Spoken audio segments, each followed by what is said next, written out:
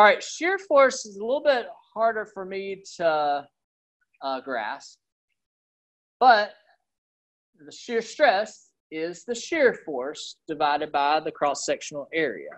Shear stress is let's let's give the textbook definition. It's the intensity of the force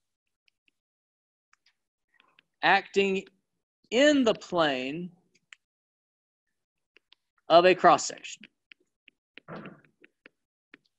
All right, it's the, the force acting in the cross sectional plane. Tau, we're going to call shear stress tau. Shear stress is very different from normal stress. Don't try to add them. Don't try to combine them. Don't let's separate. Let's give them different different uh, variable names. So we're calling this tau. Tau would be v over a. Tau would be v over a. Let's box this in, and let's actually specify this is tau average. This is tau average.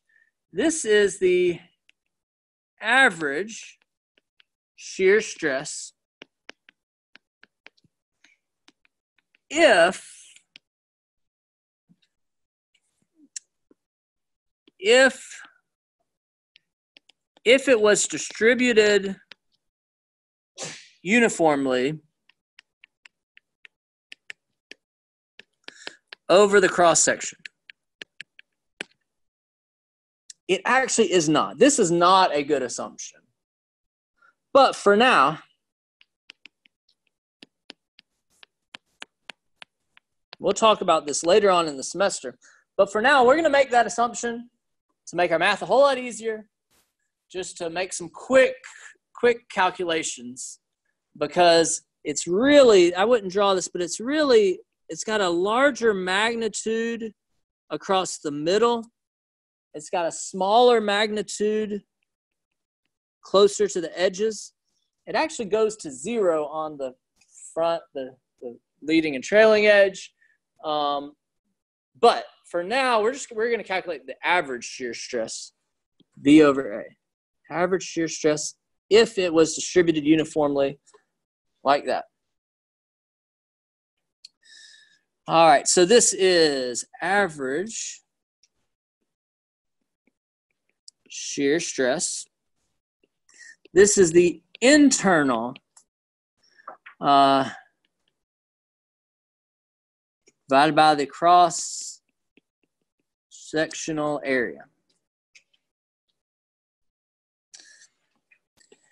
Tau average is a quick calculation that can be used uh, we're going to use it to design and size uh, pins and bolts. Anyway, V over A. V is the internal shear force. So it's almost like you need to cut it. Uh, need to cut really to kind of visualize the area that it is acting over. Probably a better way to say that. But my my idea, my my uh, tip and goal for you is to go ahead and go ahead and cut it. Go ahead and let it fail. All right so that you can see this these areas that the V is acting over.